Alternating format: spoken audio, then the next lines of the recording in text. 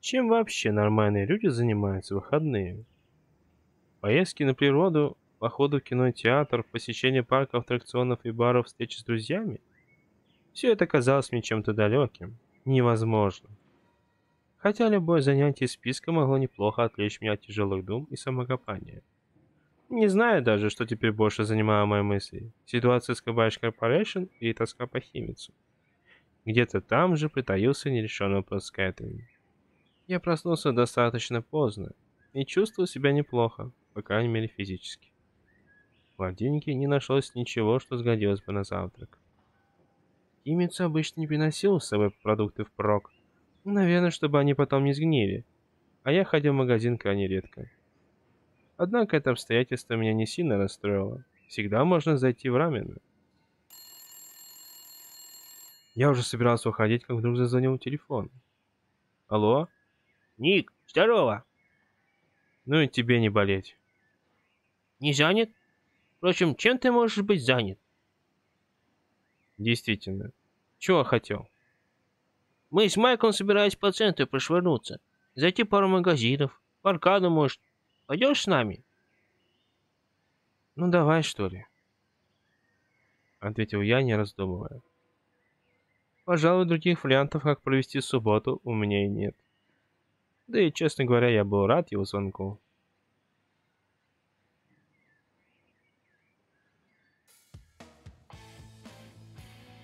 Киоски со своим нелепым и неуместным оскалом просто-таки излучал позитив и жизнерадостность.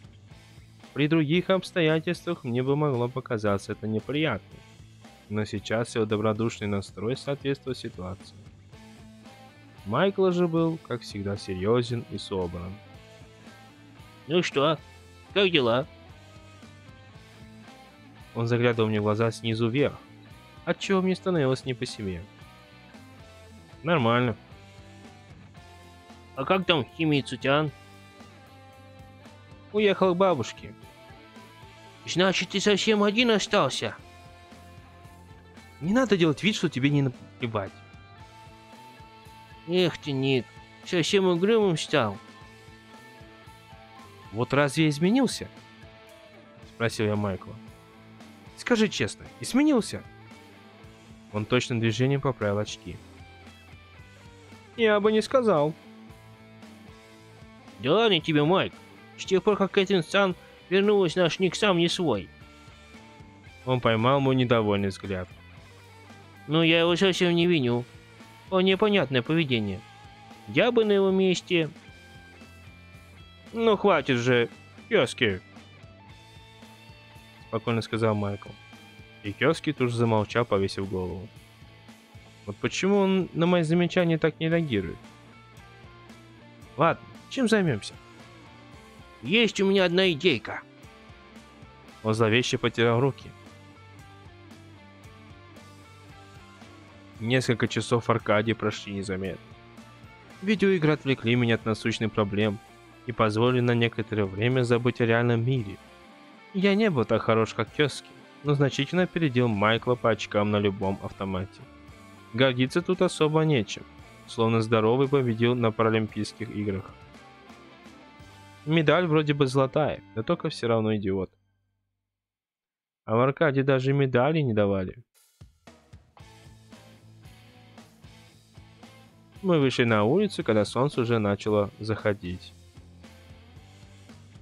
Было бы круто, если бы видеоигры сделали настоящим спортом. Типа как футбол? Ну да. Тогда бы я точно стал чемпионом. Надеюсь, не доживу до этого дня. Флегматично заметил я. А что? Это ведь тоже своего рода спорт, требующий быстрой реакции тренировок. Кёски проводил здесь дни напролет. И, конечно, играл неплохо. Но мне казалось, что я легко смогу лучше, если потрачу столько же времени, сколько и он. Впрочем, что самое главное, у меня не было никакого желания. Ну ладно, давайте уже поедим. Аркадий немного перекусил, но пришло время нормально пообедать. Мы зашли в кафе, и я наелся от пуза. Киоске случился позвонить, и мы с Майклом остались наедине. Так ты уже успел поговорить с Кэтрин? Поговорить? О чем? Выяснить отношения, скажем так.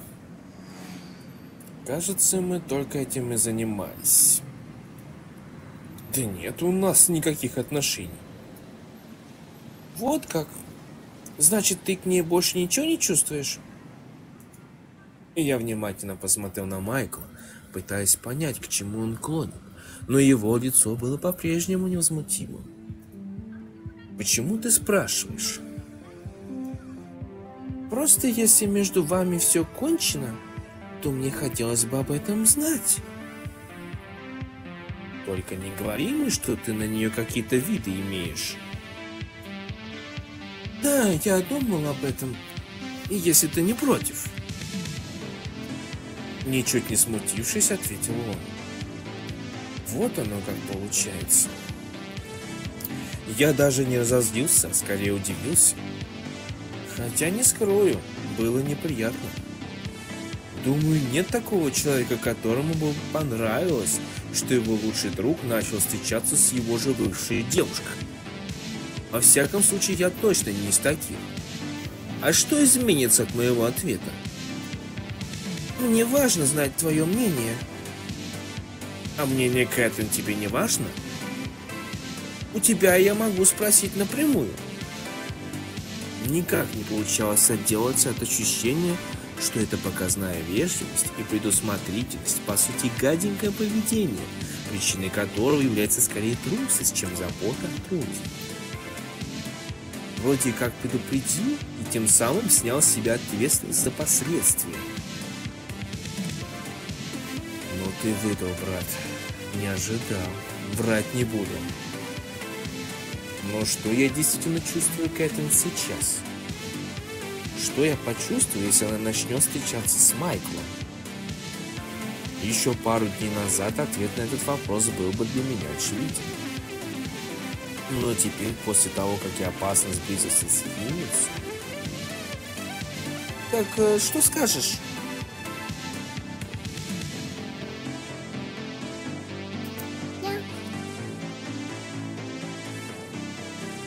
Я ничего не могу сказать. Слишком неожиданно это все. На самом деле, я просто не мог вот так просто отказаться от Кэт. Противно было думать, что это малодушное чувство собственничества, как будто подросший ребенок не хочет отдавать младшим свою старую игрушку.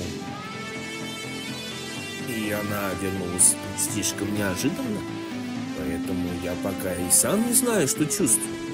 Ты уж извини. Все в порядке. Я тебя понял.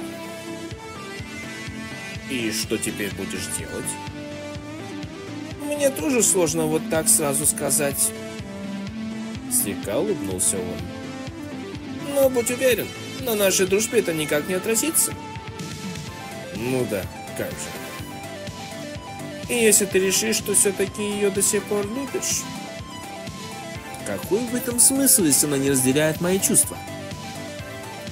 Это уже другой вопрос. А по-моему, то же самое. В таком случае мы становимся соперниками. Только у тебя, так сказать, свежий старт. Ну и что, вы тут без меня? Вернулся к тезке, задел неловкую ситуацию. Однако этот разговор еще не закончен. Уф, как же я наелся!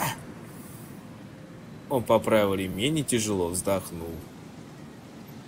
Тебе бы не помешало следить за весом. Говорят, что ожирение будет болезнью 21 века. Да не, сказки это все. Уверен, тогда уже изобретут какой-нибудь аппарат, выкачивающий жир. Ну да, только на тебе-то он и сломается. Мы дружно рассмеялись.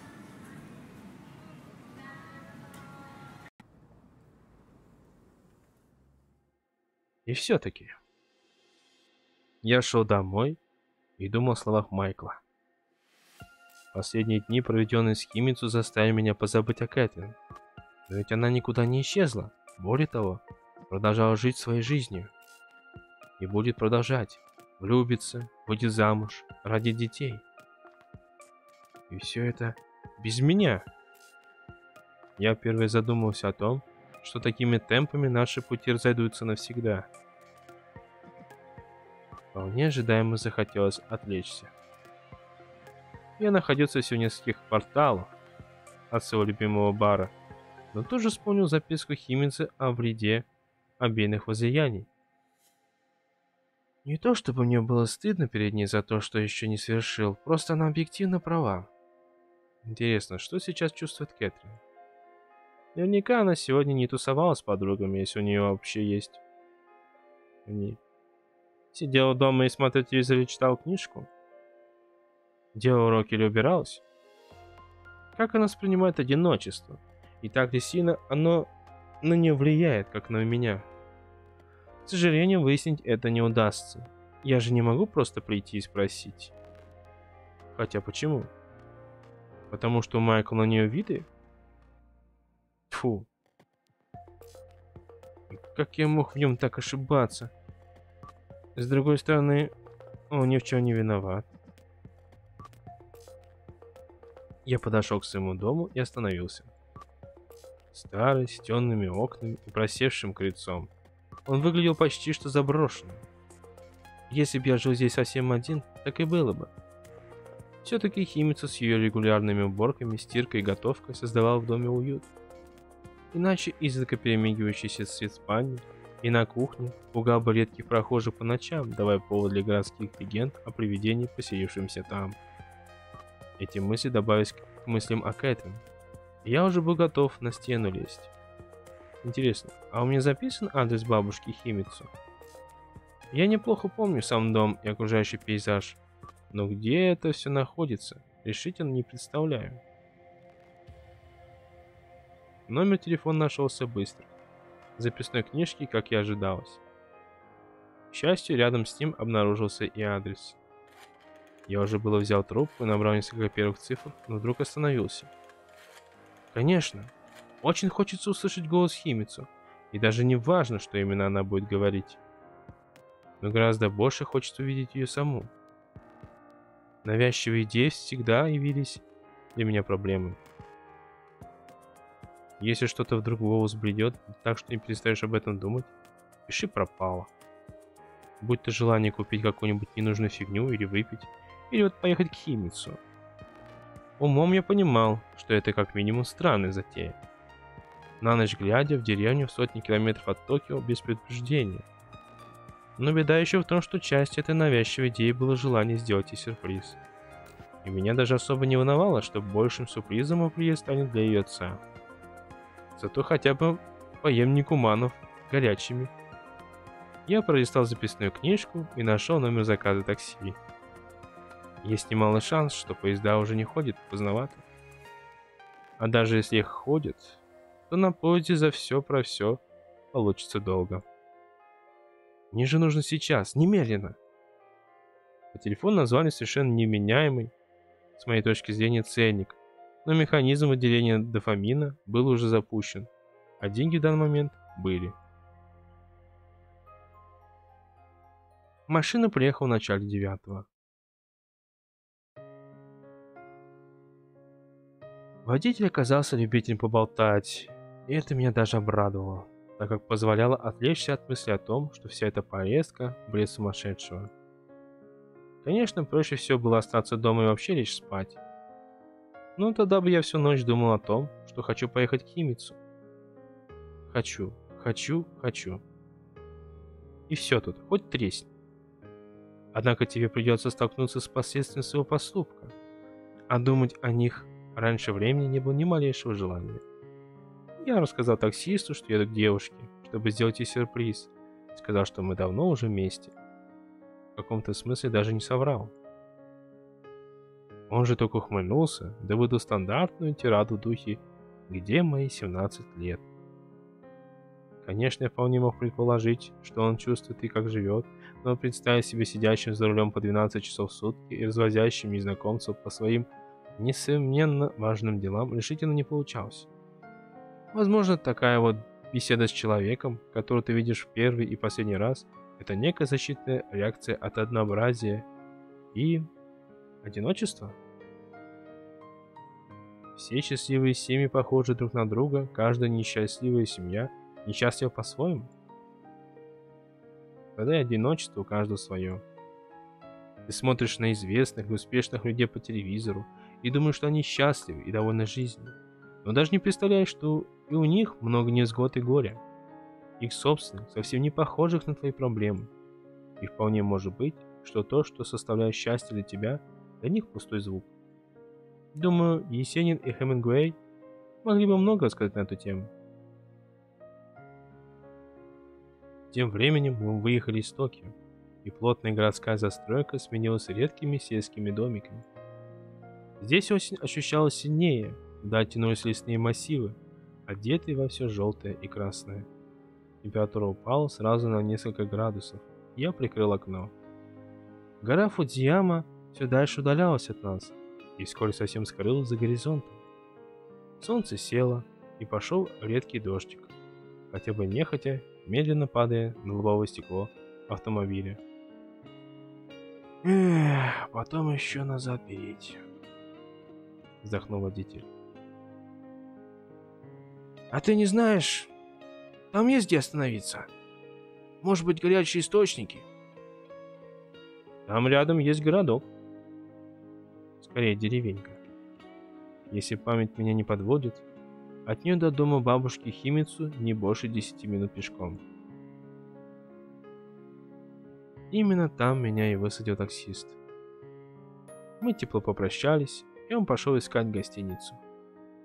Часы показывали полночь, начинался новый день. Сам городок как будто совершенно не изменился, хотя прошло уже много лет. Впрочем, ничего удивительного. Сюда еще не дотянулись цепкие лапы КБШ Corporation и ей подобных, что все застроить торговыми центрами, видеосалонами, магазинами, набитым бесполезным китайским хламом, а вместо стоявших веками классических японских домиков заполнить каждый свободный квадратный метр чудовищными многоэтажками. Наверное, в данном случае это попросту нерентабельно. Поэтому местным жителям повезло, и они могут спать спокойно размеренно нерушимый на протяжении тысячелетий уклад сельской жизни Японии вызывал у меня невольное уважение. Еще большее на контрасте с давно жившим себя, на мой взгляд, традициями и социальными нормами городов, постиндустриального общества в целом. Наверное, не все эффекты глобализации однозначно хороши, но что-то полезное в ней определенно есть. Я быстро вспомнил дорогу и уверенно направился в ночь в ту сторону, где жила бабушка Химицу.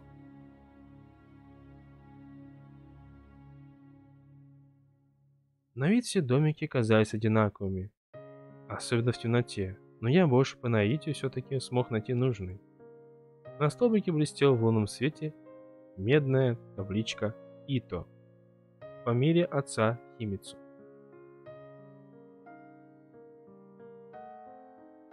Участок, по сути, не был никак огорожен, а садик выглядел ухоженным. Не то, что заросли в моем доме. Я сделал несколько шагов по дорожке, ведущей к дому, и уже ждал, что вот сейчас на ход воспоминания, но ничего подобного не произошло. Да, все было в общем-то знакомо, но сердце не замирало при виде граблей и тяпок, немного покосившихся ставен и камней, аккуратно закопанных в песок перед дверью. Наверное, дело в том, что здесь я провел не так уж много времени. Вдруг со двора послышался знакомый голос. Слово было не разобрать, но я сразу понял, что это отец Химицу. Послушать, конечно, нехорошо, но мне буквально тянуло подойти поближе. И все-таки удивительно, что в деревнях японцы до сих пор не беспокоятся о своей безопасности и не запирают дома. Впрочем, как ты запрешь Сёдзи? На шпингалет? Дверь во двор была открыта. Я максимально тихо подкарался и заглянул внутрь.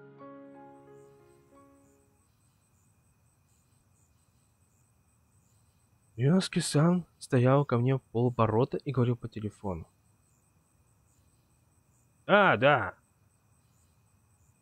Он был явно взволнован или, может быть, раздосадован. Проблема на работе? Все в порядке, я же вам говорю. Все идет по плану. Да. Нет. Анохин под моим наблюдением 24 часа в сутки, уверяю вас. Анохин? То есть я? Ну и что? У меня тоже есть своя жизнь. Моя дочь справляется с заданием. Его дочь? То есть Химицу? Наружка вообще не моей компетенции. Да, да. Нет. Да, Анохин ведет себя совершенно нормально, как и всегда. Что? Русские? Конечно, я видел их оперативников. Но это же естественно. Нет, пока ничего не предпринимают. Наши клиенты? Коротко смехнулся он, сделав ударение на слове клиенты. Нет, в данный момент все тихо. Конечно, мне тоже кажется это странным, но мы сейчас можем лишь наблюдать. Он надолго замолчал. Видимо, говорил его таинственный собеседник. У вас нет никаких причин сомневаться в Химицу. Она знает о его жизни все. Может быть, даже больше, чем он сам. Это была правда. Отчего становился еще больнее. Я вдруг заметил, как крупные градинки холодного пота падают на землю, а сердце колотится так, что скоро его услышит Ириноски-сан. Я все равно стоял без движения, стараясь даже не дышать, и слушался в разговор. «Я веду наблюдение за Нокином не первый год. если позволите мне сказать...» «Всегда проще. Нет, не считаю. Да, да. Конечно, есть результат. Его контакты с КГБ. Послушайте вы.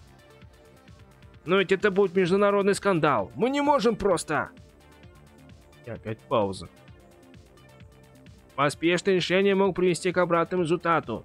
Да послушайте. Да, да. Я понял. До свидания. Юноска сам повесил трубку и вздохнул. Ах, надеюсь, он не выйдет во двор покурить. Потому что я не чувствовал себе сил сделать и шагу отсюда. К счастью, отец Химицу закрыл дверь, и вскоре в доме все затихло. Быстро, быстро. Бубнил я себе под нос, пробираясь через сад. Конечно, Ринойский-сан меня не заметил, и до определенной степени опасаться нечего. Я просто был не в состоянии оставаться там ни секунды дольше. Более того, чем дальше отсюда, тем лучше. Выйдя на дорогу, я бросился бежать. В себя только на улице городка, где меня высадил таксист. Наблюдает за мной? Давно? Химицу? Мало мне КБШ Корпорейшн, мало мне КГБ, мало мне Кэтлин с ее матерью. Так теперь еще и это? Ну как со всем этим связано Химицу? Получается, Рюноски-сан работает на корпорацию? Или, может быть, на японскую разведку? Говорю про международный скандал. Такие вещи скорее будут волновать человека, работающего на государство. А, черт. Я бы, наверное, смог выдержать это, если бы он не говорил про Химицу. Я приехал сюда ради нее. Несмотря ни на что, забыв все приличия и условности. Просто хотел ее увидеть, услышать ее голос, может быть, поцеловать. Справляется с заданием? Я для нее всего лишь задание? И с каких пор? С самого детства? Нет. Просто не могу поверить, что Химицу все это время, столько лет, хладнокровно врала мне. Это просто невозможно. Кто угодно, но не она. Твою мать! Есть в моей жизни хоть что-нибудь нормально, не желающее перспективе моей смерти? Я бессильно опустился на землю, прислонившись спиной к стене какого-то дома. Что делать дальше? Как дальше жить? Ведь я только и цеплялся за Химицу, как за что-то нормальное в моей жизни. Она была единственным человеком, который до конца честен со мной. Была. От этих слов стало совсем тяжело. Я до крови прикусил губу. как же теперь смотрите в глаза? В эти большие зеленые глаза, которые, как мне всегда казалось, просто не способны на ложь. На городок с окрестных гор спустился густой туман. В окна погасли последние огни, и подул северный пронизывающий до костей ветер. Я поплотнее закутался в легкую джинсовку, но это помогло не сильно. Может быть, поискать гостиницу? Ведь она должна здесь быть. Но сначала вокзал.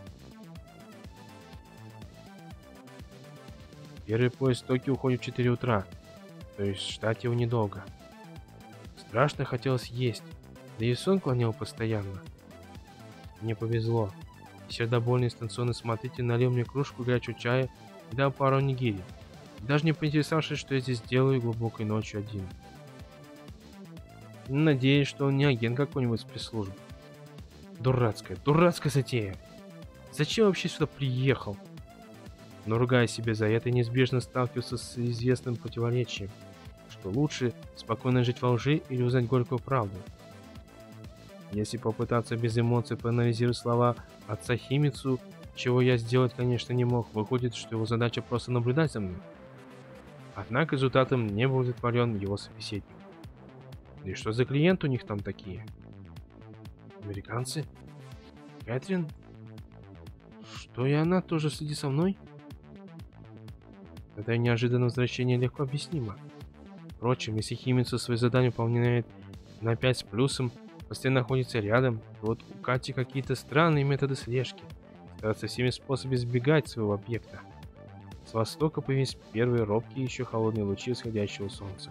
Напоминаю, что я здесь застрял не навечно. Однако и в Токио меня не ждет ничего хорошего. Теперь уже нигде. Ни с кем.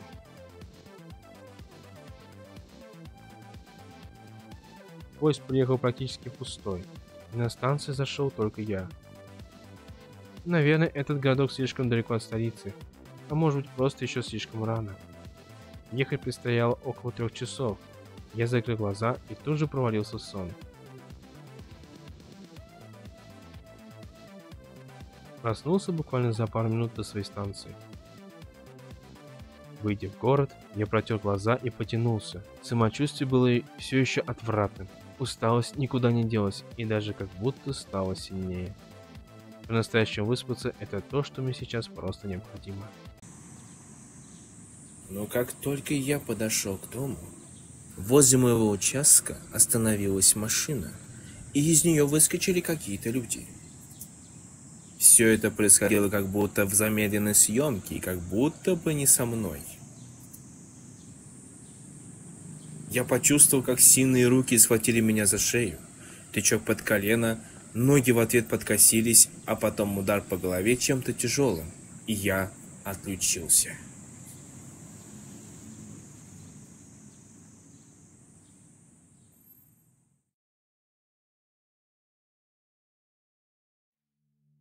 себя пришел в маленькой темной комнате, освещенной лишь тусклой лампочкой, свисающей с потолка. В голове словно поселился какой-то маленький человечек, отчаянно пытающийся выбраться и пробивающий себе путь наружу сквозь мою черепную коробку. Ну, хоть поспал. Грустно смехнулся я, и нестерпимая боль туши стрельнула в затылок. Ох. Беда не приходит одна. Предательство Химицу, а теперь и это. КГБ, корпорация, японские спецслужбы. Кажется, я становлюсь не в меру популярным. Эй! Робко позвал я. «Эй!» Уже громче, но мне никто не ответил. Интересно, как одна неожиданность накладывается на другую? Я был шокирован предательством Химис, измотан до крайней степени, изможден недосыпом и уже как будто был не в состоянии чему-либо удивляться. Наверное, в моем положении стоило бы трястись от ужаса, или, по крайней мере, испытывать какие-то более сложные эмоции, чем простое иступление. Эй! Заорал я, как будто даже обидевшись на своих похитителей за то, что мне не организовали культурную программу. Через какое-то время вдалеке начал слышаться тихий стук каблуков по бетонному полу. Он приближался и становился громче, но слишком медленно, словно кто-то шел по бесконечному коридору. Наконец дверь открылась, и в комнату вошла Привет, Николай. «Миссис Винтерс», — ответил я, как будто даже не удивившись. Не скажу, что ждал ее, но ситуации, когда подозреваешь всех, нельзя исключать никого. Как устроился? Надеюсь, у тебя есть все необходимое? Ухмыльнулась она. Шерил Винтерс дала бы 100 очков Кэт на соревнованиях по сарказму. А с учетом всех обстоятельств, ее слова пугали куда больше прямых угроз Ирины. Мне бы стоило догадаться, что за всем этим стоите вы. Наверное, думали, что я скажу нечто подобное? В эту игру могут играть двое. Пусть у меня на руках откровенно дрянные карты. Она никак не отреагировала, только как-то странно прищурилась, очевидно не ожидав от меня подобного ответа.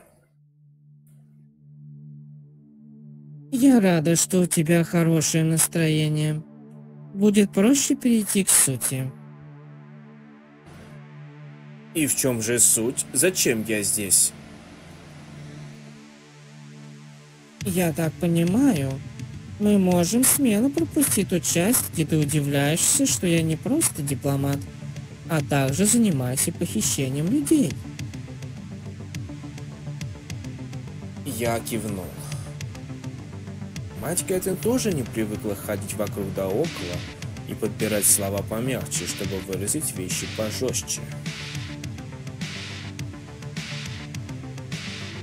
Тогда мне бы очень хотелось узнать, что именно ты передал Ита. Она вся напряглась и подалась вперед. Ничего я никому не передавал. Более того, я еще вчера не знал, что Рюноско-сан, что это работает на японскую разведку. Я постарался, чтобы мой голос звучал как можно спокойнее, но никак не мог решить, куда смотреть. Ее взгляд пронизывал насквозь, а демонстративно отводить глаза казалось неправильным. Так я осматривал суетливо свою темницу, в которой не было ровным счетом ничего интересного.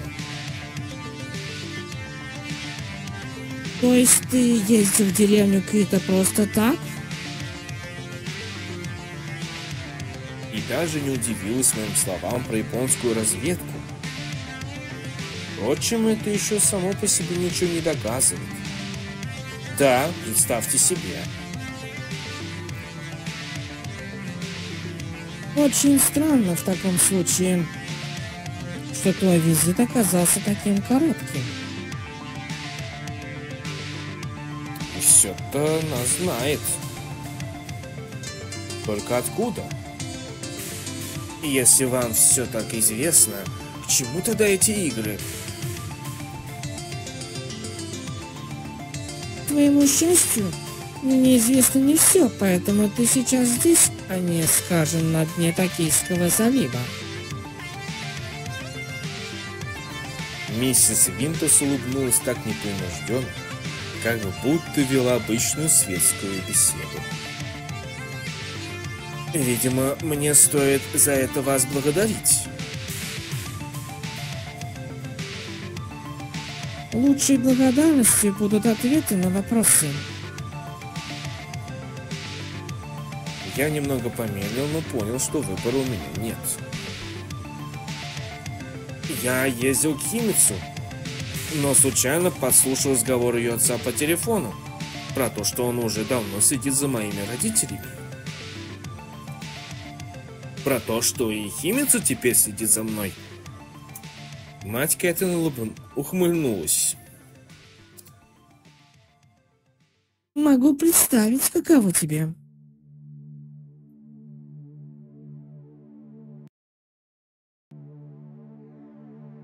Не надо только делать вид, что вам не наплевать. Ты был не чужим человеком для моей дочери, так что не совсем. Я только одного понять не могу. Как может родитель так использовать своих детей? Что Гита, что вы. А почему ты считаешь, что я кое как-то использую Кэтрин?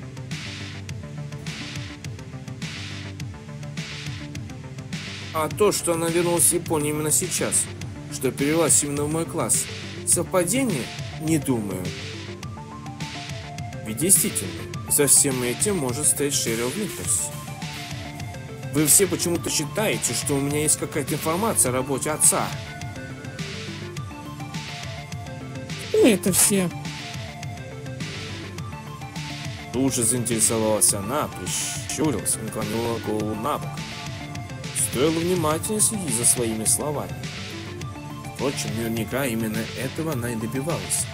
Может, не конкретно того, что я проговорюсь про ГГБ, но моей ошибки.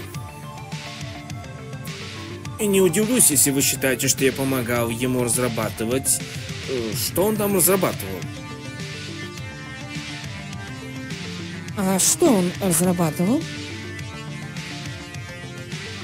И еще больше насторожилась миссис Винтерс. Стэнфордский торт, блин, откуда я знаю? Ты очень точно подметил про случайности. Если ты действительно ничего не знаешь, то как-то уж очень странно, что вокруг тебя происходят события, которые совершенно невозможно представить вне контекста некой общей картины. Слишком сложно для простого школьника. И КГБ, и японцы, и мы. Что уж теперь? Хочешь сказать, все обознались? Похоже, она и не собиралась скрывать, что в курсе про мои контакты с советами. А кто это мы? Американцы? Кабаяши Корпорейшн? Те, кто могут помочь тебе, Николай, если ты пойдешь нам навстречу. Звучало она складно и в чем-то даже логичнее Ирины. К тому же мрачные застенки не располагают долгим размышлением, когда видишь хоть какой-то выход. Я уже сказал, что ничего не знаю про работу отца. И у меня нет и не было никаких его документов. А если бы были, если бы были, я бы отдал их, только чтобы от меня отстали. И кому бы ты их отдал? Вам? Неуверенно ответил я. А если бы кто-то другой предложил более привлекательную цену? Более привлекательный, чем собственная жизнь? Николай, ну не надо драматизировать. Вдруг засмеялась она. Мы просто общаемся и обсуждаем перспективы взаимовыгодного сотрудничества. Конечно, я понимаю, что в тебе заинтересованы и другие. Кто же, например? Ну, Например, твои японские друзья. Кёски, что ли? Неумело съязвил я. Вряд ли речь идет о Кабаяши Корпорейшн. Они наверняка и так знают, что в этих несуществующих документах. Плохо забывать друзей в беде. Особенно подруг. Подруг? Вот это уже что-то новое. Я не понимаю, о чем вы говорите. Шерил Винтерс ничего не ответила и просто смотрел на меня, не отрываясь. Словно искусствовед, который изучает картину авангардиста, опередившего свое время. Ну как не поверить такому искреннему молодому человеку? Она фальшиво улыбнулась и постучала в дверь. И это все? А что еще? Ну, разве что. Она замерла на пороге, обернулась и бросила на меня ледяной взгляд, из которого вмиг исчез весь сарказм, напускная симпатия и творная доброта. Мы продолжим этот разговор с того места, на котором остановились сегодня, если ты дашь нам для этого повод.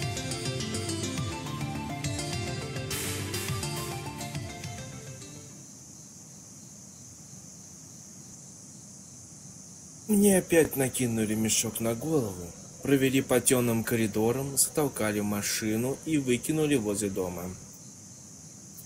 На дворе была глубокая ночь. Все тело болело, особенно рана на затылке. Я как будто бреду открыл дверь, доковылял до кровати и упал на нее, потеряв сознание еще в полете.